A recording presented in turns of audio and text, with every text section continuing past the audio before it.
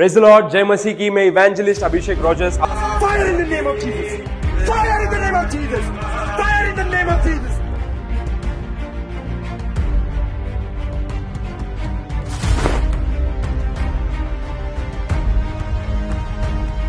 सभी के लिए एक खुश खबर लाया हूँ। जैसे कि पिछले साल 2023 में परमेश्वर ने पुणे मुंबई और अहमदनगर ये शहरों में परमेश्वर ने कार्य किया। Fire in the name of Jesus! Fire in the name of Jesus! बहुत सारे लोगों को परमेश्वर के उपस्थिति का अनुभव हुआ बहुत सारे लोगों के जीवन में चंगाई मिली और उनको उद्धार हुआ वैसे ही परमेश्वर ने मुझसे कहा कि आने वाला 2024 में ज़्यादा से ज़्यादा परमेश्वर का वचन पहुंचाना है ज़्यादा से ज़्यादा लोगों तक परमेश्वर का उद्धार पहुंचाना है इसीलिए 10 फरवरी 2024 को तरुण आशीर्वाद सभा ये नोटल मेमोरियल चर्च ग्राउंड में होने वाली है शाम छह बजे। मैं सभी भाई और बहनों को यहाँ पर आमंत्रित करता हूँ, आप आए और परमेश्वर की उपस्थिति का अनुभव ले। प्रेज लॉर्ड नया जीवन देने वाले की, प्रभु यीशु मसीह की। Hallelujah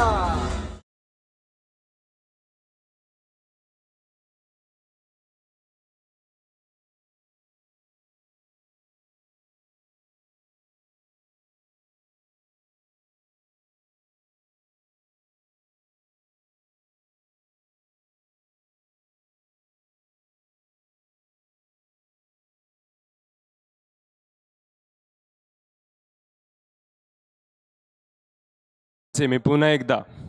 Sanjay James Thakur ministries या आपल्या ऑनलाईन प्लॅटफॉर्म फेसबुक पेजवरती मी आपले सर्वांचे स्वागत करतो. आशा करतो की आपण सर्व ठीक आहात आणि अधिकाधिक देवाच्या कार्यामध्ये आणि देवाच्या वचनामध्ये अधिकाधिक वाढत आहात. दर शुक्रवारी आपली या समय भेट होत असते आणि उद्देश एवढाच असतो की देवाचं वचन याची देवाणघेवाण व्हावी. देवाची वचन जेवढं जास्त आपल्यामध्ये देवाणघेवाण होईल किंवा जास्त आपण जेव्हा देवाचे वचनं समजून घेऊ तेवढे जास्त आपल्याला काय म्हणतात त्याला लाईफमध्ये एक आपल्याला मोटिवेशन भेटेल. चालायचं कसं? राहायचं कसं? हे आपल्याला माहिती पडेल. म्हणून देवाचं वचन हे सांगण्यासाठी आपण दर शुक्रवारी या फेसबुक प्लॅटफॉर्मवरती भेटत असतो. आणि अनेकशे लोक जुडतात म्हणून आम्हाला आनंद वाटतो आणि देवाच्या कार्याला यश असतं शंभर टक्के असतं. कारण जिथं देव आहे जिकडं देवाचं कार्य आहे तिकडं यश हे शंभर टक्के असतं. आणि म्हणून हे जो प्लॅटफॉर्म आहे याला शंभर टक्के यश आल्या कारणाने आम्ही देवाचे गौरव करतो देवाचे उपकार स्मरण करतो. देवाचं वचन आपल्या जीवनामध्ये कार्य करून आपलं जीवन हे चांगलं होईल आणि व आशीर्वादित होईल. हेच आपण मागच्याच बघितलं आणि हेच आपण जाणून घेतलं. आज पण आपण काही गोष्टी जाणून घेणार आहोत. फार महत्त्वाचं वचन आहे आज देखील. आज देखील मी तुम्हाला अशा अनेकशा गोष्टी दाखवणार आहेत की जेणेकरून आपल्यामध्ये आणि देवामध्ये दुरावा कसा येतो आपल्यामध्ये आणि देवामध्ये दुरावा कसा येतो आणि दुरावा कसा टाळायचा आपल्याला हे आपण बघणार आहोत. दुरावा कसा टाळायचा आपल्याला? सर्वात प्रथम तर मी तुम्हाला एक वचन दाखवणार आहे. नीतीसूत्र ह्याचा अकरावा अध्याय एकवीसवं वचन ते म्हणजे दुर्जनांना शिक्षा चुकणार नाही. हे मी टाळी देऊन सांगतो पण धार्मिक वंशजाची मुक्तता होईल. एमेन दुर्जनांचा दुर्जनांना शिक्षा ही चुकणार नाही. आपल्याला सर्वांना माहिती आहे. जो कोणी पाप करतो जो कोणी देवाच्या इच्छेविरुद्ध वागतो जो कोणी देवाच्या विरु विरुद्ध वागतो जे देवाचं वचन सांगते त्याच्या विरुद्ध वागतो पाप करतो देवाला आवड न आवडणाऱ्या गोष्टी करतो. त्याचा देव म्हणतो की त्याचा शिक्षा ही अटळ आहे. शंभर टक्के अटळ आहे. कारण सगळं जाणून देखील सगळं वचन जाणून देखील देवाची देवाचा पवित्रता जाणून देखील तो जर व्यक्ती जो कोणी असेल तो दुर्जन म्हणतो देव म्हणतो की दुर्जनाला शिक्षा चुकणार नाही. पण धार्मिकाला मुक्तता आहे हे वचन सांगतं आपल्याला. आजच्या या वचनाद्वारेच आपण काही गोष्टी जाणून घेणार आहोत. मनुष्य का लहान बाळापासून दुर्जन जन्मतो असं नाही प्रियांनो. जन्मताच मनुष्य का दुर्जन होतो असं नाही. वेळ काळ समय येतो जेव्हा आपली वाढ होत असते जेव्हा आपण आपण वाढतो आपलं व- वय वाढतं जेव्हा जेव्हा आपल्याला जग कळू लागतं. जेव्हा आपण लोकांच्या संपर्कात येतो लोकांच्या संपर्कात आल्यानंतर आपल्याला काही गोष्टी कळतात. कळल्यानंतर आपण त्या सर्व गोष्टींमध्ये आपण कसं राहायचं? आपण तेव्हा ब्लँक होतो. आपल्याला कळत नाही की कसं राहायचं जग जगामध्ये. आणि मग काय होतं? वचना वचनाचे आचरण करत नाही आपण आणि त्यामुळं काय होतं? आपलं जीवन हे कलटणी होतं. जीवन आपलं बदलून जातं आणि आपण जगाच्या पाठीमागे जातो. जगाच्या राहटीप्रमाणे जातो. जगाचे जे काय पाप आहे आपण ते करावा लागतो. तेव्हा आपण दुर्जन होतो. पण जो धार्मिक आहे तो वचनाप्रमाणे चालतो आणि वचनाचं आचरण करतो आणि देवाच्या इच्छेप्रमाणे वागतो व इच्छेप्रमाणे चालतो त्याला देवाने इथं धार्मिक बनवलेलं आहे. किंवा धार्मिक सांगितलंय जो धार्मिक म्हणजेच कोण जो वचनामध्ये राहतो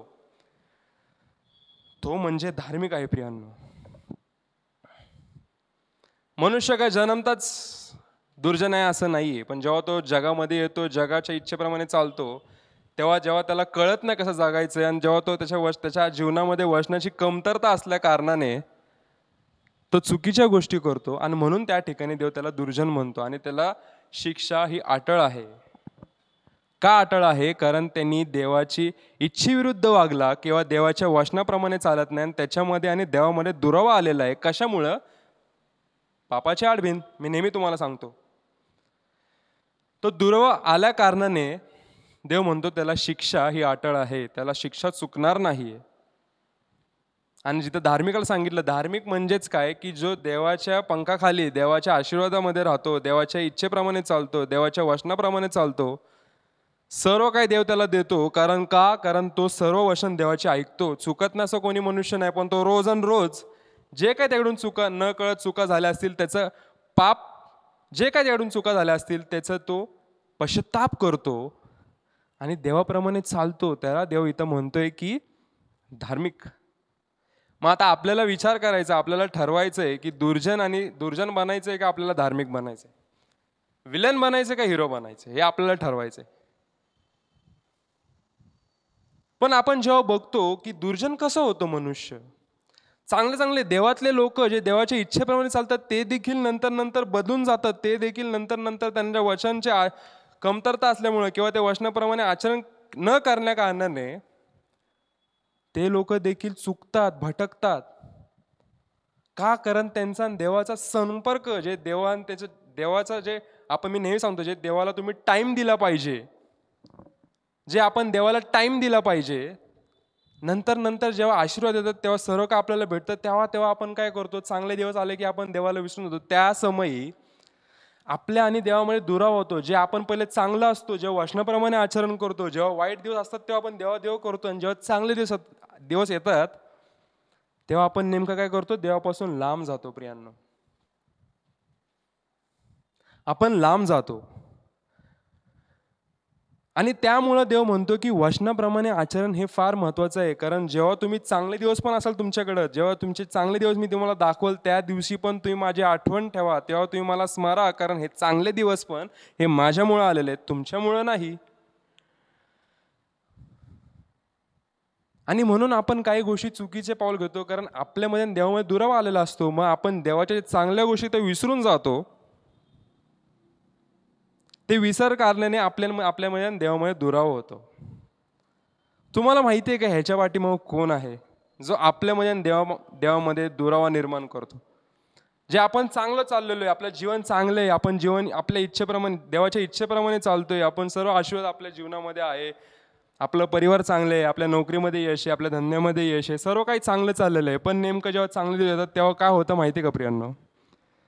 जो दुरावा येतो ना त्याच्या पाठीमाग पण कोणतरी आहे. त्याच्या मागं पण कोणतरी आहे जो खेळ खेळतो आणि देवामध्ये आणि आपल्यामध्ये दुर्वा निर्माण करतो जे त्याला पाहिजे की आपण देवामागं राहावं. देवापासून लांब राहावं हे त्याला पाहिजे ह्याच्या पाठीमुळे एकच आहे तो म्हणजे सैतान. तो म्हणजे सैतान प्रियांनो. त्याला वाटत नाही की आपलं चांगलं व्हा त्याला वाटत नाही की आपण आश्रयित व्हा त्याला वाटत नाही की आपल्यामध्ये चांगले दिवस यावा त्याला वाटत नाही की आपण आश्रयित राहावं. म्हणून त्या कारणाने त्यांनी आपल्यावरती आणि आपल्या देवावरती आपल्यामध्ये दोघांमध्ये दुरावा निर्माण करण्याचा प्रयत्न करतो. तो दुरावा आपण थांबवला पाहिजे. आज मी तुम्हाला असे दोन उदाहरणं दाखवणार आहे जेणेकरून तुम्हाला कळणार आहे की कसं देवाचे वचन आपण ऐकलं पाहिजे आणि वचनाप्रमाणे आचरण केलं पाहिजे. आणि जर केलं नाही देवापासून देवाच्या सान्निध्यापासून आपण जर लांब केलो तर त्याचा परिणाम काय होतो हे तुम्हाला आज मी दाखवणार आहे. बायबलच्या आधारितच. पण तुम्हाला माहिती आहे का सैतानाचा एकच शस्त्र आहे ते शस्त्र कारणानेच त्या शस्त्रामुळेच आपल्यामध्ये आणि देवामध्ये दुरावा निर्माण होतो. आपल्यामध्ये आणि देवामध्ये दुरावा निर्माण होतो. ते एकच शस्त्र आहे सैतानाकडं. आणि त्या श त्या शस्त्रांमुळं अनेकशे मनुष्य अनेकशे धार्मिक लोक देखील ते बळी पडतात त्या शस्त्राला. ते म्हणजे माहिती आहे का तुम्हाला काय? ते म्हणजे मोह. टेम्पटेशन आजचा टॉपिकच आहे आहे मोह. सर्वात महत्त्वाचा टॉपिक आहे. आणि आजच्या जगामध्ये आजच्या युगामध्ये आपण जे बघतोय आजकालच्या जीवनामध्ये आपण बघतोय आपल्या आसपास आपण बघतोय अनेकशे चुकीचे गोष्टी चाललेल्या आहेत जगामध्ये. लोकांना देवाचा विसर पडू लागलेला आहे. लोकांना देवाच्या वचनाचा विसर पडू लागलेला आहे. लोक आपल्या इच्छेप्रमाणे वागतात आहेत जे चुकीच्या गोष्टी आहेत तेच करायला लागलेत. का त्याच्या पाठीमागं सैतान आहे प्रियांनो? त्याच्या पाठीमागं सैतान आहे. सैतानाने तुमच्यावरती असं मोठं शस्त्र चालवलं आहे ते म्हणजे मोहाचं. त्या कारणाने तुम्ही बळी पडत चाललेला आहात. तुमच्यामध्ये आणि देवामध्ये दुरावा हो होत चाललेला आहे. तुमच्यामध्ये आणि देवामध्ये कनेक्शन राहिलेलं नाही आपल्यामध्ये आता. जे आपण देवामध्ये राहायचो पण कुठं ना कुठं सैतानाने आपल्याला पैशाचा मोह व्यभिचार अनेकशा गोष्टी माहिती आहे आपल्याला पाप काय आहे? मी नेहमी नेहमी सांगणार नाही. पण आपल्याला पाप काय माहिती आहे? आपण आ- अज्ञानी नाही आहोत. आपण ज्ञानी आहोत. वचन वचन जो वाचतो तो ज्ञानी असतो तो अज्ञानी नसतो. कारण वचन आपल्याला शिकवतं म्हणून आपण ज्ञानी म्हणतो. वचन वाचल्यानंतर आपण अज्ञानी बनत नाही. म्हणून जर तुम्ही वचन वाचता तर तुम्हाला पाप काय हे चांगलं माहिती आहे. अनेकशे पाप आहेत जे मोह आहेत व्यभिचार आहेत अनेकशा गोष्टी आहेत. व्यसनाचा मोह आहे पैशाचा मोह आहे व्यभिचार आहेत चुकीच्या गोष्टी आहेत. हाच एक शस्त्र आहे जो शस्त्र आज सैतान आपल्या मनुष्यावरती चालवतोय आणि मनुष्य इझिली त्याला बळी पडतोय. का? कारण मनुष्यावरती कंट्रोल नाही सेल्फ कंट्रोल नाही. जे फळ होतं स्वतःवरती नियंत्रण जे सातवं फळ नववं फळ मी तुम्हाला सांगितलेलं मागच्या वेळेस ते फळ आपल्यामध्ये असलं पाहिजे ते म्हणजे सेल्फ कंट्रोल इंद्रदमन स्वतःवरती नियंत्रण ते नियंत्रण आपलं सुटलेलं आहे आणि ते नियंत्रण आपल्यामध्ये नसल्या कारणाने आपण त्या त्याला बळी पडतोय. जे सैतान वार टाकतोय त्या वारला आपण बळी पडून जातोय. का? कारण आपल्यामध्ये वाचनाची कमी आहे. कारण आपल्यामध्ये धार्मिक लोकांमध्ये देखील जेव्हा चांगले दिवस येतात तेव्हा आपण देवाला विसरतो आणि त्यामुळं शैतानाचं शस्त्र ते चालतं. ते म्हणजेच काय? ते मोहाचं शस्त्र. चुकीचं आहे प्रियांनो. जेव्हा आपल्याला देव काय आहे समजलं आहे जेव्हा आपल्याला वचन काय आहे समजलं आहे देवाचं पवित्रता समजलेली आहे देवाला काय पाहिजे काय नाही जेव्हा आपल्याला हे कळलेलं आहे तर आपण ह्या गोष्टीला बळी पडल्यानं कामा नाही आहे कारण बायबलमध्ये असे मी तुम्हाला दोन उदाहरणं दाखवणार आहे प्रियांनो. आणि फार महत्त्वाचे उदाहरणं आहेत जेणेकरून तुम्हाला कळलं की कसं मोह एखाद्या मनुष्याला संपून टाकतं आणि जो मोहावरती विजय मिळवतो त्याचं जीवन कसं बदलतं हे देखील मी तुम्हाला दाखवणार आहे आज. पहिलं आपण वचनाद्वारे काही गोष्टी शिकूयात. याकोबाचा पत्र याचा पहिला अध्याय चौदा आणि पंधरा वचन प्रत्येक मनुष्य आपल्या वासनेने ओढला जातो. ठीक आहे? मी असं म्हणत नाही की एखादा व्यक्ती एखादा व्यक्ती असं नाही. प्रत्येक मनुष्य इथं वचनामध्ये लिहिलेलं आहे प्रत्येक मनुष्य आपल्या वासनेने ओढला जाऊ जातो. व भुलविला जातो. तेव्हा मोहात तेव्हा मोहात पडतो. मग वासना गर्भवती होऊन पापाला जन्म देते आणि पाप परिपक्व झाल्यावरती मरण उपविजिते. प्रत्येक मनुष्य हा ह्याला मोह येतात. ठीक आहे? काही लोकांना मोह येतात मला जास्त पैसे कमवायचे आहेत. काही लोकांना असं वाटतं अरे माझ्याकडे पैसेच नाही. अरे पण मी जे कमवतोय त्याच्यापेक्षा आता जास्त कमवलं पाहिजे. किंवा मी जे आज कमवतोय त्याच्यापेक्षा जास्त माझ्या जीवनामध्ये पाहिजे. जे आज माझ्याकडे one B H K flat आहे. मला असं वाटतं three B H K flat पाहिजे मला. पण वन बी एच केमध्ये पण तीच झोप येणार आहे प्रियांनो. थ्री बी एच केमध्ये पण तीच झोप येणार आहे. नाही आज माझ्याकडे एक कार आहे पण असं मला वाटतं की मला लक्झरी कार पाहिजे. का? कारण मी आज माझ्या मित्रांकडे बघतोय. पण लक्झरी कार देखील ते पावसापासूनच आपल्याला जपते आणि साधी कार देखील आपल्याला पावसापासूनच जपते उन्हापासूनच जपते. ते काय आपल्यासाठी वेगळं काय करत नाही. असं म्हणत नाही की जे तुम्हाला दिलेलं देव त्याच्यामध्ये संतुष्ट राहा. असं नाही. देव आपल्याला आश्वाद आश्वित करल. जेव्हा वेळ काय समय येईल तेव्हा आश्वाद कळल. पण आपण मोह नाही धरला पाहिजे. ज्याच्याकडे आहे त्याचं मोह नाही धरलं पाहिजे की ह्याच्याकडे हे म्हणून मला हे पाहिजे ह्याच्याकडे ते म्हणून मला हे पाहिजे. हा देखील मोह आहे प्रियांनो. हा देखील मोह आहे. वेळ काळ समय तुम्हाला देव देणार आहे. पैसे जर तुमच्याकडे जेव्हा तुम्हाला पगार आहे त्यापेक्षा तुम्हाला जास्त पगार देव देणार आहे. मनुष्यावरती भिस्त राहू नका. देव तुम्हाला आश्वेद आश्वदित करल. फक्त मोह लावू नका कोणत्याही गोष्टीचा मोह पकडू नका. हे फार महत्वाचं आहे. आज मी तुम्हाला हे वचनाद्वारेच काही हेच शिकवायला आलेलो आहे. इथं काय दाखवले की प्रत्येक माणसाला मनुष्याला मोह येऊ शकतो पण त्याला मोह पडता त्याला बळी पडण्याचं काम आपल्याला करायचं नाही आहे कारण जर मोहाला बळी पडलो तर आपल्याकडून पाप होतं आणि पाप झाल्यानंतर आपल्याला माहिती आहे पापाचं वेतन काय आहे? मरण. जर आपण पाप करू तर आपण कधी ना कधी मरू. आपण चुकीच्या गोष्टींमुळे मरू शकतो. हे वचन सांगते प्रियांनो आणि वचन हेच सांगते की सगळ्यांना मोह येऊ शकतो पण आपलं काम आहे. ठीक आहे वचन बघा कशी काळजी घेते तुमचं. वचन कशी काळजी घेते ते पण जाणून घ्या. वचन दाखवते की सगळ्यांना मोह येऊ शकतो. पण मोहाला बळी पडू नये हे वचन सांगते आपल्याला. कारण जर मोहाला तुम्ही बळी पडताल तर तुमचं मरण हे अटळ आहे. म्हणजेच काय? जे तुम्हाला मी पहिलेच सांगितलं की दुजनांचा शिक्षा चुकणार नाही. म्हणजेच मोहाला बळी पडल्यानंतर आपलं मरण हे निश्चित आहे. हे शंभर टक्के आहे. कोणच वाचू शकणार नाही कोणताच संदेश वाचू शकणार नाही कोणताच देवाचा सेवक वाचू शकणार नाही. जर आपण देवाच्या इच्छेविरुद्ध वागलो जर आपण चुकीच्या गोष्टी केल्या मोह पकडला वाईट गोष्टी केल्या देव आपल्याला एकदा क्षमा करेल दुसऱ्यांदा क्षमा करेल तिसऱ्यांदा क्षमा करेल पण चौथ्यांदा तो आपल्याला क्षमा करणार नाही. नाही. कारण देव देखील आपल्यावरती प्रेम करतो पण जिथं चुकीचं तिकडं तो चुकीचं आपल्याला म्हणतो आणि तिथे तो आपल्याला आपली चूक दाखवतो. जर आपण ते चुकीच्या गोष्टी करत राहिलो तर कधी ना कधी देव आपल्याला छडी मारतोच आणि तो शंभर टक्के मारणार.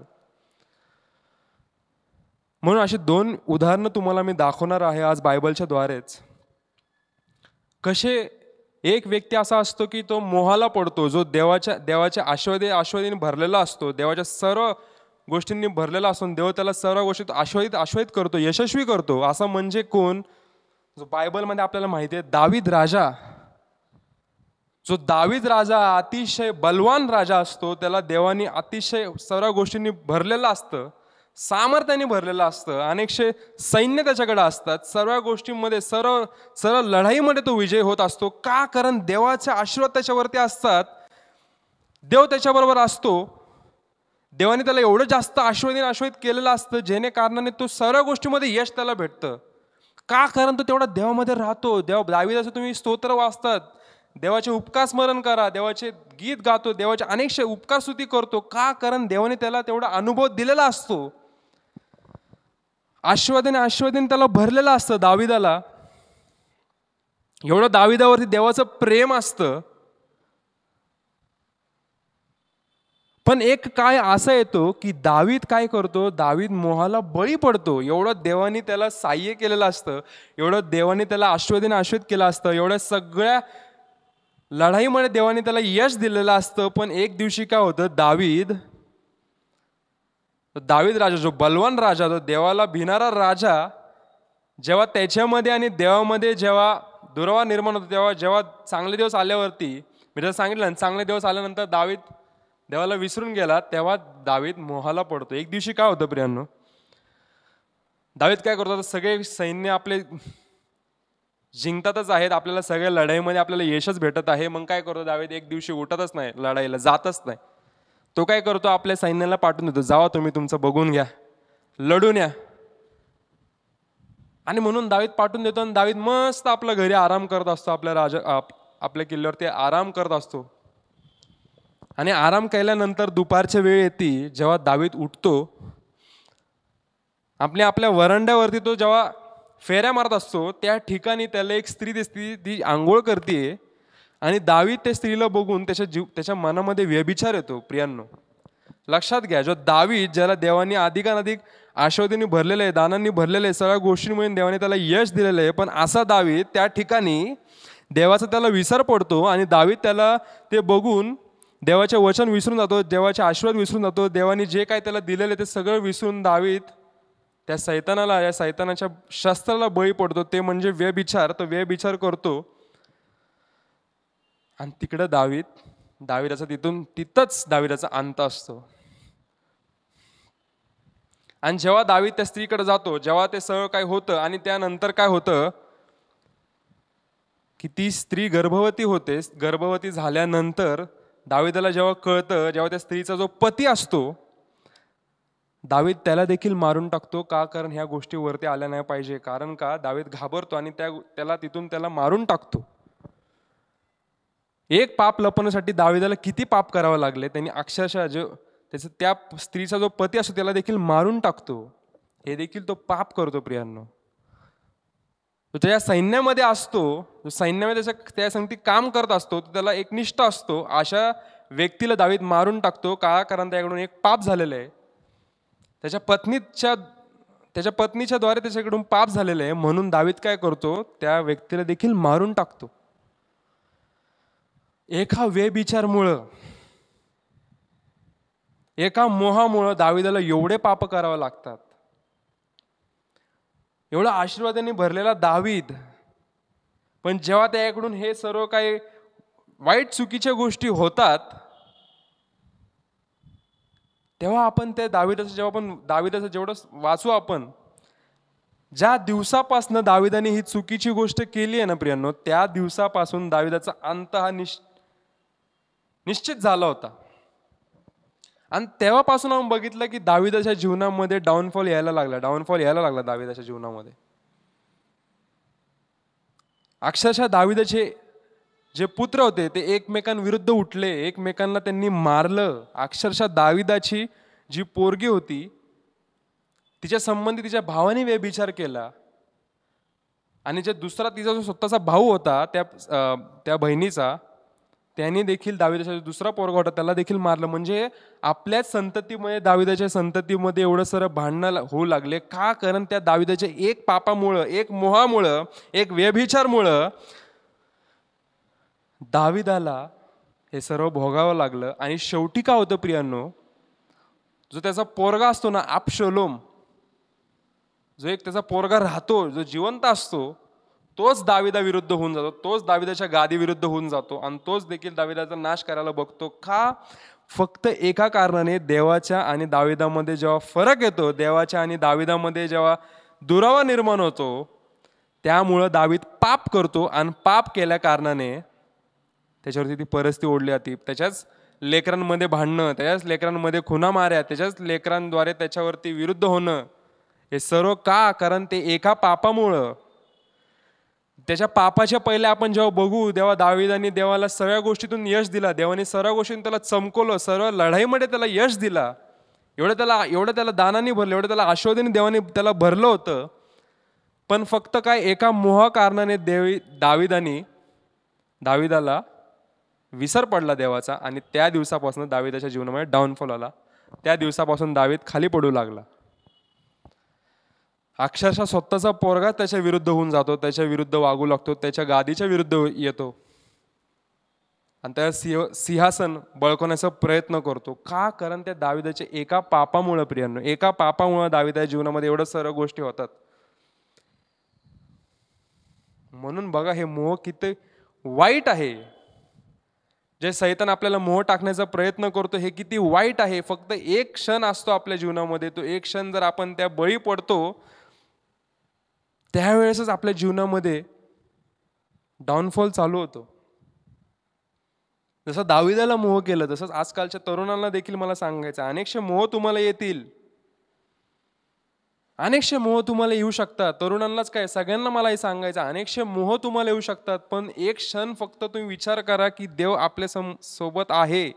तो आपल्यावरती प्रीती करतो. देवाने सांगितलंय की आपल्याला ह्या गोष्टीपासून लांब राहायचंय. कारण त्याच्यामध्ये आपलं हित आहे. वचन आपल्याला हेच सांगतं की मोहापासून लांब राहा. फक्त ते तेवढा एक क्षण जो असतो ना तो क्षण जर आपण स्वतःला कंट्रोल केलं तेव्हा आपला त्याच्यामध्ये विजय. पण जर आपण स्वतःला कंट्रोल नाही केला आणि त्या मोहामध्ये पडलो की त्या दिवसापासून आपलं आपण नष्ट होऊ. आपण आपण समाप्त होऊ. एवढं निश्चित सांगितलं. हेच वचनाद्वारे आपल्याला सांगितलंय मी. आपला अंत हा निश्चित आहे फक्त ते एका मोहामुळंच. म्हणजे जसं आता आपण दाविदाचं उदाहरण बघितलं तसं आपण योसेफाचं उदाहरण बघूया. जसं दावीद मोहाला बळी पडला आणि दाविदाच्या जीवनामध्ये अनेकशा चुकीच्या गोष्टी होऊ लागल्या तसंच आज योसेफाचं उदाहरण देखील बघणार आहोत जेणेकरून आपल्याला कळेल की योसेफाने काय केलं. त्याला देखील मोह आला. त्याला देखील मोहामध्ये प देवानी सैतानाने त्याला मोहामध्ये टाकण्याचा प्रयत्न केला पण योसेफाने काय केलं हे बघणार आहोत हे देखील आपण जाणून घेणार आहोत. खरं खरं ही देखील महत्त्वाची गोष्ट आहे प्रियांनो. जो योसेफ असो त्याचे आपले त्याचे भाऊ लोक त्याच्या विरुद्ध असतात आणि त्याला ते कुठंतरी विकून देतात. त्याला टाकून देतात कुठंतरी. आणि तिथं काय होतं एक राजाचा जो अंमलदार असतो पोतीफार त्याचं नाव असतं तो त्याला काय करतो तो विकत घेतो. आणि तुम्हाला सांगू का योसेफ हा देवाला भिणारा असतो. दे- देवाला भिवून चालणारा असतो देवाच्या वचनाप्रमाणे चालणारा असतो त्यामध्ये एक दान असतं. स्वप्नाचा अर्थ सांगायचा एक दान असतं. त्या कारणाने त्या दानाच्या कारणाने त्याचे भाऊ लोक त्याच्यावरती खार खाऊन असतात. आणि म्हणून त्याला ते योसेफाला तिकडून ते त्याचे भाऊ त्याला तिथून लांब टाकून देतात त्याला मारण्याचा प्रयत्न करतात त्याला त्या खड्ड्यात टाकण्याचा प्रयत्न करतात अनेकशा गोष्टी त्याच्याकडून करण्याचा प्रयत्न करतात. आणि एक टायमाला काय होतं योसेफ त्याच्या भावापासून लांब जातो आणि काय होतं जो पो पोतीफार असतो जो अंमलदार असतो राजाचा तो त्या योसेफाला विकत घेतो. आणि ज्या दिवशी योसेफाला तो अंमलदार विकत घेतो त्या त्या दिवसापासून यो अंमलदार हे अनुभव करतो की आपण जेव्हापासनं ह्याला आपल्या जीवनामध्ये आणलेलं आहे आपल्या आपल्यासोबत ह्याला ठेवलेलं आहे हा आपल्यासोबत आपल्या संगती काम करतोय त्या दिवसापासून जो अंमलदार असतो जो पोतीफार त्याचं नाव असतं त्या जीवनामध्ये अधिक अधिक आशीर्वाद असतात. का कारण तो योसेफ जो असतो ना तो देवाला भिणारा असतो. देवाच्या वचनाप्रमाणे चालणारा असतो.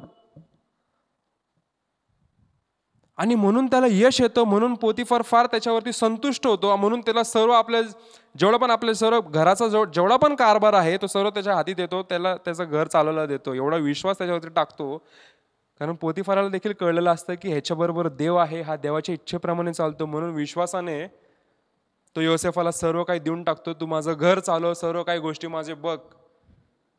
का? कारण त्याला कळतं की ह्याच्या ह्याच्या ह्याच्याबरोबर देव चालणारा आहे हा देवाच्या इच्छेप्रमाणे चालतोय ह्याच्याबरोबर आशीर्वाद आहे तेच आशीर्वाद मला भेटतात आहेत. तो लकी आहे माझ्यासाठी. आपण म्हणतो ना एक जण एक व्यक्ती आपल्यासाठी लकी असतो तसं त्याला कळतं की हा लकी आहे माझ्यासाठी. कारण हा देवाच्या इच्छेप्रमाणे चालतोय देवाच्या वचनाप्रमाणे चालतोय ह्याच्याबरोबर यश येते यश मला भेटू लागलेलं आहे. आणि ते अनुभवल्या कारणाने तो त्याला सर्व आपलं काय देतो सगळ्या जबाबदारी त्याला देतो आणि त्याला म्हणतो की हे सर्व तू सांभाळ. आणि एक दिवशी काय होतं पोतीफाराची जी पत्नी असते त्या अंमलदाराची पत्नी असते तिचं लक्ष त्या योसेफाकडं असतं. वाईट नजर तिची त्याच्यावरती असते. आणि एक दिवशी असं होतं की ती त्याला काही गोष्टी सांगण्याचा प्रयत्न करते आणि चुकीच्या मार्गात त्याला टाकण्याचा प्रयत्न करते. योसेफ आला व्यभिचार आणण्याचा प्रयत्न करते स्पष्ट बोलण्याचा अर्थ तर असा असेल तर. पण योसेफ तिथून पळून जातो प्रियांनो. कारण तिला तिथं योसेफ काय म्हणतो? आपण वाचा योसेफाचं जे स्टोरी आहे ती वाचा पण त्या ठिकाणी योसेफ तिला काय म्हणतो? की मी हे गोष्टी करू शकत नाही कारण का मला हे माझा देव शिकवत नाही? ए मेन माझा देव हे मला शिकवत नाही मी असं करू शकत नाही कारण देवाचं वचन हे मला सांगत नाही म्हणून त्या ठिकाणी योसेफ तिकडून पळून जातो. जो दावीद असतो त्या क्षणामध्ये तो दावी तिथं फसतो पण योसेफाचं उदाहरण आपण जेव्हा बघतो तेव्हा दावी योसेफ तिथून पळून जातो. का? वचन त्याच्यामध्ये कार्य करतं प्रियांनो. वचन त्याच्यामध्ये कार्य करतो देवाला तो भिवून चाललेला असतो म्हणून योसेफ तिकडून पळून जातो.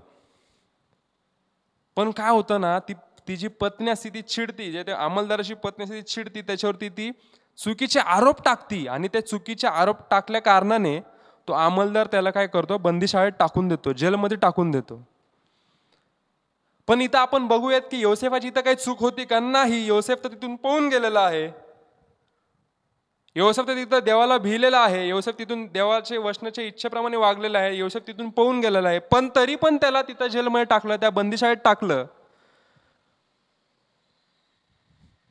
पण थांबा. देव जिवंत आहे. देवाचं वचन कार्य करतं. जर तुम्ही सत्य आहात जर तुम्ही देवाच्या इच्छेप्रमाणे चालतात तर तुमचा नाश नाही. तुम्ही कुठं देखील असाल तुमच्यावरती किती देखील आरोप आले असेल तर देव तुम्हाला त्यातून बाहेर काढणार आहे. का? कारण तुम्ही देवाच्या इच्छेप्रमाणे चालणार आहेत. तसंच योसेफाबरोबर झालं प्रियांना. योसेफ चुकला नाही जरी त्याला बंदीशाळेत टाकलं पण त्या बंदीशाळेत टाकल्या देखील नंतर देखील तो त्या बंदीशाळेत देखील त्या ज्या जेलचा तो अधिकारी झाला. ए मॅन त्या बंदीशाळेचा तो अधिकारी झाला. ते सर्व गोष्टी त्याच्या हातात देण्यात देण्यात आले. तो जरी तिथं कैदी असं तरी देखील त्याच्यावरती विश्वास टाकण्यात आला. का? कारण तिथं देखील तो देवाची उपकार स्मरण करत होता. तिथं देखील तो देवाची भक्ती करत होता. तो देवाच्या इच्छेप्रमाणे चालत होता. तिकडे तिकडे तो देवाचं नावच घेत होता.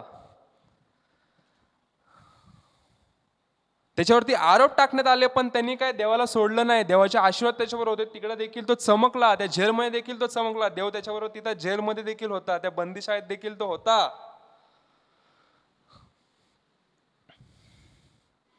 जे त्याचं दान होतं ना प्रियांनो तिकडे ते दान देखील प्रज्वलित झालं.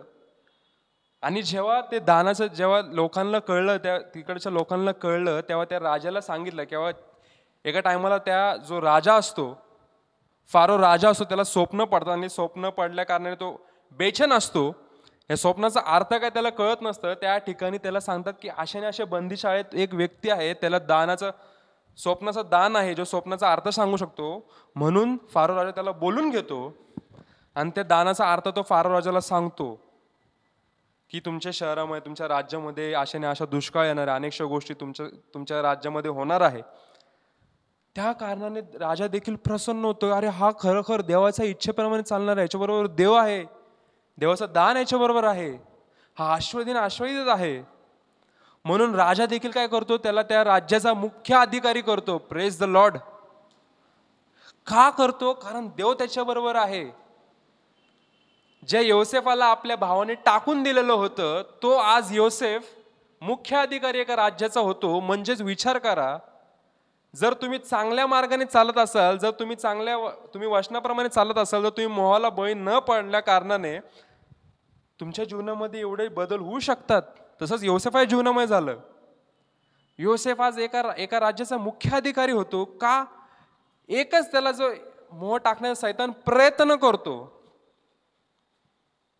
पण त्या मोहाला तो बळी पडत नाही आणि तिकडून तो पोहून जातो. ते ब्लेसिंग्स म्हणतात ना ते आशीर्वाद ते त्याला पार मुख्य अधिकारी बनवून टाकतं.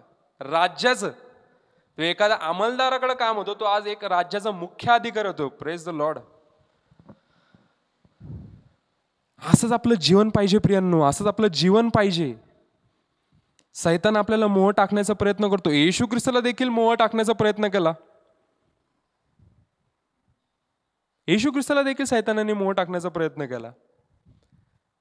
की तू देवाचा एकुलता एक पुत्र आहे त्याला प्राईड आणण्याचा प्रयत्न केला त्याला प्राऊड करण्याचा प्रयत्न केला. तू देवाचा एकुलता एक पुत्र आहे म्हणून तू इथून उडी मार.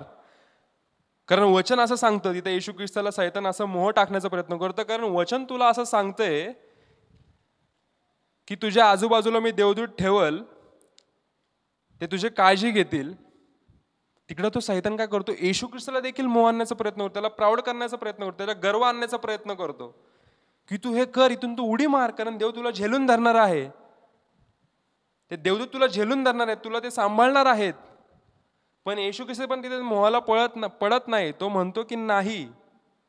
मी माझ्या बापाची परीक्षा बघू शकत नाही. वचन हे सांगतं की तुम्ही आपल्या पित्याची परीक्षा बघू नका. हे वचनद्वारे तेव्हा त्याला सांगतो. कारण वचन येशू ख्रिस्ताला माहीत असतं. ते वचन आपल्याकडे जर असेल तर आपण त्या मोहाला पडू शकणार नाही. जर आपल्यामध्ये वचनच नसेल वचनाची कमतरता असेल तर आपण त्या मोहला शंभर टक्के बळी पडणारच. आदाम आणि हवाचं उदाहरण घ्या प्रियांनो. आदाम आणि हवा देवाने त्यांना बनवलं सर्व गोष्टी त्यांना देवाने त्या एदन गाड्यात एदन बागेत त्यांना सर्व काय दाखवलं. तुम्ही सर्व गोष्टी काय आपण एक झाडाचं फळ तुम्ही खाऊ नका. ते झाडाचं फळ खाल्ल्याने तुम्ही मराल शंभर टक्के मराल हे देवाने त्यांना सांगितल्या कारणाने देखील ते लोक एक सैतान तिकडे येतो सर्पाच्या द्वारे येतो आणि त्यांना तो मोह टाकतो की स्त्रीला मोह टाकतो हवेला मोह टाकतो की तू हे फळ खा हे दिसणारं फळ जे आहे ना तुला हे देवासमान बनवणार आहे म्हणून ते हे फळ खा. तिकडे देखील सैतान काय करतो? सर्पाच्या द्वारे तिला मोह टाकतो आणि ते देवाच्या इच्छेविरुद्ध वागतात. ते फळ न खाण्यास सांगितलं असं देवाने पण ते खातात. त्यांना ते मोह येतो. ती स्वतःच खात नाही ती तिच्या आपल्या पतीला पण देते. आधामाला पण देते आणि त्या आधामाला पण पाप करायला लावती. स्वतः पण करते आणि आधामाला पण करायला लावते. असंच सैतान आपल्या जीवनामध्ये टाक काम करतो. असंच जीवनामध्ये आपलं शस्त्र जे मोह आहे त्याचं जो शस्त्र आहे त्याचा मोह तो आपल्या जीवनात टाकण्याचा प्रयत्न करतो. जर वचन आपल्याकडे असेल तर आपण बळी पडणार नाही. जर आपल्याला वचनची कमतरता असेल तर आपण त्या मोहाला बळी पडू. आणि म्हणूनच वचनाची कमी लोकांपर्यंत पडू नये म्हणून आम्ही दर शुक्रवारी तुम्हाला भेट देतो. कारण का? की लोकांपर्यंत वचन पोचावं जे लोकांचा आज नाश होत आहे जे ख्रिस्ती लोक आहे ज्यां येशू देवाबद्दल देवाच्या इच्छेप्रमाणे तर ते लोक चालत चर्चला तर जातातच शंभर टक्के जातात पण देव काय त्यांना माहीत नाही. देवाचं वचन काय सांगतं ते त्यांना कळत नाही. म्हणून ख्रिस्ता बगैर जगतात आणि ख्रिस्ता बगैरच मरतात. अशा लोकांपर्यंत आम्हाला पोचायचं जेणेकरून ते वचन त्यांच्यापर्यंत पोचल्यानंतर त्यांच्या जीवनामध्ये कार्य होईल म्हणून आम्ही दर शुक्रवारी इथं भेटतो. जसं आज आपण बघितलं दाविदाच्या आणि योसेफाच्या उदाहरणाद्वारे देखील आपण बघितलं की कसं वचन कार्य करतं. आणि कसं वचन जर नसल्या कारणाने आपण मोहाला पडतो. दावीद एवढा आश्वरित असल्या कारणाने देखील वचनाची कमतरता असल्या कारणाने देवामध्ये आणि त्याच्यामध्ये दुरावा झाल्या कारणाने तो मोहात पडतो आणि त्याच्या त्याच्यानंतर त्या जीवनामध्ये डाऊनफॉल येतो. पण योसेफ काय करतो जे तो देवाला भिवून चालतो देवाच्या इच्छेप्रमाणे चालतो जरी त्याला मोह आला जरी त्याला मोहामध्ये टाकण्याचा प्रयत्न केला तरी देखील दावे तिथून निघून गेला योसेफ तिथून निघून गेला का? कारण त्याला माहीत होतं की हे देवाला आवडत नाही. का? कारण देवाचे वचन त्याला माहीत होते. म्हणून वचन फार महत्वाचं आहे प्रियांनो. मागच्याच आपण वचनाच्या वचनांचं वचनाबाबतीतच बघितलं. आज देखील आपण वचनाबाबतीतच बघितलं की वचनच आहे आपल्याकडे शस्त्र आहे. जर सैतानाकडं मोहाचं शस्त्र आहे तर आपल्याकडं वचनाचं शस्त्र आहे. जे हे शस्त्र आहे सगळ्यांवरती भारी आहे. म्हणून हे वचन आपल्याकडे असलं पाहिजे प्रियांनो. हे वचन आपल्याला असलं पाहिजे. म्हणून आम्ही दर शुक्रवारी तुम्हाला हे वचन सांगण्याचा प्रयत्न करतो जास्तीत जास्त सांगण्याचा प्रयत्न करतो. कारण लोकांमध्ये जेवढं जास्त वचन असेल तेवढं त्यांच्या जीवनामध्ये देव कार्य करेल तेवढं जास्त ते आश्वासन आश्वादित होतील तेवढ्या जास्त देवाच्या समीप येतील तेवढं त्यांच्या जीवनामध्ये त्यांना यश प्राप्ती भेटेल. सर्व गोष्टी कशामुळं? वचनामुळं. वचनाच्या बाहेर काहीच नाही. म्हणून आजच्या सुंदरच्या स संदेशाबद्दल देवाचे आपण धन्यवाद देऊ की सुंदरचं वचन जे देवाने मला तुम्हापर्यंत सांगण्याचं सांगायला सांगितलं कारण आजकालच्या जीवनामध्ये अनेकशे लोक हे मोळाला बळी पडत आहेत. म्हणून देवाने मला सांगितले की हे वचन सांग. हे वचन सांग की मोह कसं जीवनात कार्य करून मनुष्याला नष्ट करतं समाप्त करतं. कसं एक चांगल्या मनुष्याला दुर्जन मनुष्य बनवून टाकतं फक्त एकच मोह. म्हणून मोहापासून लांब राजा सैतानाचं शस्त्र आहे. त्याला बळी पडू नका तर आपलं शस्त्र चालव म्हणजेच काय? वचन हे आपल्या जीवनामध्ये असून द्या. म्हणजेच आपण या कोणत्या गोष्टीला बळी पडणार नाही. त्या सुंदरशा वचनाबद्दल आपण देवाच्या नावाला धन्यवाद देऊ. आज आपण जे उपस्थित आहे त्यांच्यासाठी आपण प्रार्थना करणार आहोत. जे अडचणीमध्ये जे बंधनांमध्ये आहेत, दुःखात आहेत कष्टात अशा सगळ्यांसाठी आपण प्रार्थना करणार आहोत. विशेषतः करून अनेक भागात जोरदार पाऊस पडत आहे मुसळधार पाऊस पडत आहे. अनेकशा ठिकाणामध्ये पूर आलेला आहे. अशा लोकांसाठी देखील प्रार्थना करणं होते देवा सर्व काही तू करतोय पण अशा सगळ्या लोकांना देखील तू सांभाळ. कारण तू सगळ्यांवरती प्रीती करतो. सगळ्यांवरती तू प्रेम करतो सगळ्यांना तू सांभाळ. अनेक भागात दरड कोसळत आहेत अनेकशा गोष्टी अनेकशा दुर्घटना होत आहेत. पण देव सगळ्यांना सांभाळतो.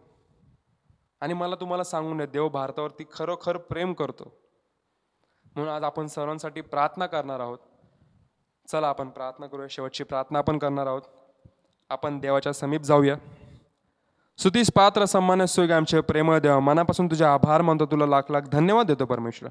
आजच्या वचनाद्वारे आम्हाला देप्पा तू आम्हाला सांगितलं की देप्पा मोहापासून तुम्ही दूर राहा. कारण जर तुम्ही मोहाला पळाल तर तुमचा नाश हा अटळ आहे.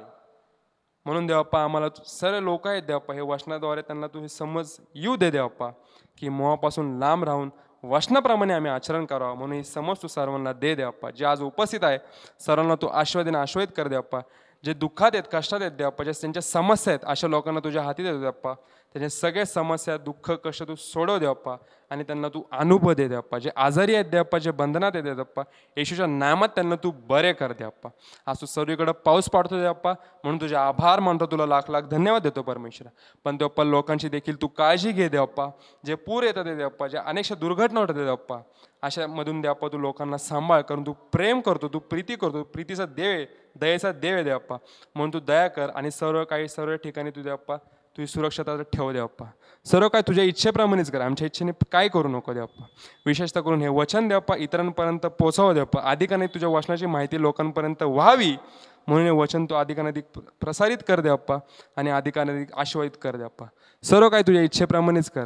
धन्य तारणारा येशू ख्रिस ह्याच्या गोड आणि प्रिय नावात मागतो म्हणून तो ऐक. आमेन. प्रेज द लॉर्ड आजने आजच्या या सुंदरच्या वचनामध्ये आपल्याला देवाने जे सांगितलं त्याचं आपण आचरण करणार आहोत.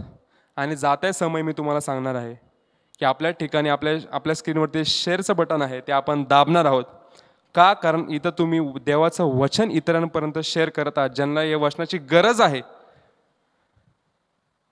ज्यांना या वचनाची गरज आहे इत अशापर्यंत ते वचन पोचणार आहे म्हणून आपण ते शेअरचं बटन दाबणार आहोत. आणि आपल्या परिवारामध्ये आपल्या अनेक शे मित्र परिवारामध्ये आपण हे शेअर करून त्यांच्यापर्यंत हे वचन पोचवणार आहोत. आणि अधिक अनाधिक देवाकडून आशीर्वाद प्राप्त करणार आहोत. दर गुरुवारी आपण बायबल स्टडी घेत असतो. माझ्या इंस्टाग्राम अकाउंटवरती इव्हॅन्जलिस्ट अभिषेक रॉजर्स या अकाउंटवरती दर गुरुवारी सायंकाळी सात वाजता आम्ही लाईव्ह असतो. जेणेकरून बायबल स्टडीज आपण घेतो. त्याच्यामध्ये ते इंग्लिशमध्ये देखील असतं आणि मराठीमध्ये देखील असतं. तर तिथं देखील तुम्ही उपस्थित राहा. कारण जेवढं जास्त आपण वचन जाणून घेऊ जेवढं जास्त आपण वचनाप्रमाणे आचरण करू तेवढे जास्त आपल्याला यश प्राप्तीने आशीर्वाद आहे. म्हणून सर्व सुरक्षित राहा आणि अधिकाने देवमध्ये चाला. पुढच्या शुक्रवारी तुमची पास्टर संजय ठाकूर ही भेट घेतील. अजून काही गोष्टी तुम्हाला सांगण्याचा प्रयत्न करतील. म्हणून पुढच्या शुक्रवारी देखील उपस्थित राहा आणि दर गुरुवारी इव्हेंजलिस्ट अभिषेक रॉजर्स या माझ्या ऑफिशियल अकाउ अकाउंटवरती मी दर शुक गुरुवारी लाईव्ह असतो. बायबल स्टडीसाठी त्या ठिकाणी देखील तुम्ही उपस्थित राहा praise the Lord Praise the Lord. Gospel is free. However, it takes value to spread the word of God worldwide. Hence, those who wants to be a part of God's blessing, we always welcome you all. You can contribute by scanning on the provided scanner. Thank you. प्रभु की स्तुति हो। सुसमाचार मुफ़्त है। तथापि, परमेश्वर के वचन को दुनिया भर में फैलाने के लिए मूल्य की आवश्यकता होती है।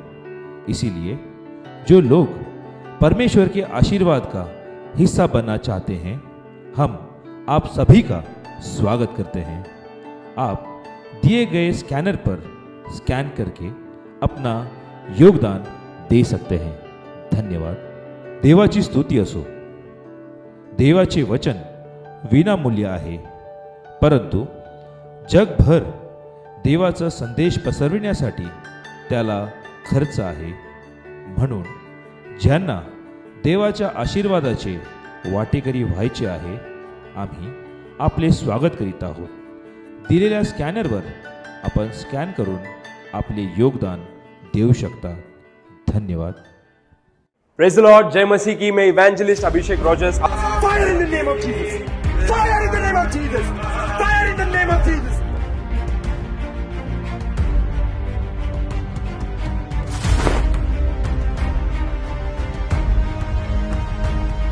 आप सभी के लिए एक खुश खबर लाया हूँ जैसे कि पिछले साल 2023 में परमेश्वर ने पुणे मुंबई और अहमदनगर ये शहरों में परमेश्वर ने कार्य किया Fire in the name of Jesus. Fire in the name of Jesus. बहुत सारे लोगों को परमेश्वर के उपस्थिति का अनुभव हुआ बहुत सारे लोगों के जीवन में चंगाई मिली और उनको उद्धार हुआ वैसे ही परमेश्वर ने मुझसे कहा कि आने वाला 2024 में ज़्यादा से ज़्यादा परमेश्वर का वचन पहुंचाना है ज़्यादा से ज़्यादा लोगों तक परमेश्वर का उद्धार पहुंचाना है इसीलिए 10 फरवरी 2024 को तउन आशीर्वाद सभा ये नोटल मेमोरियल चर्च ग्राउंड में होने वाली है शाम छह बजे। मैं सभी भाई और बहनों को यहाँ पर आमंत्रित करता हूँ। आप आए और परमेश्वर की उपस्थिति का अनुभव ले। प्रेज लॉर्ड नया जीवन देने वाले की प्रभु यीशु मसीह की। Hallelujah praise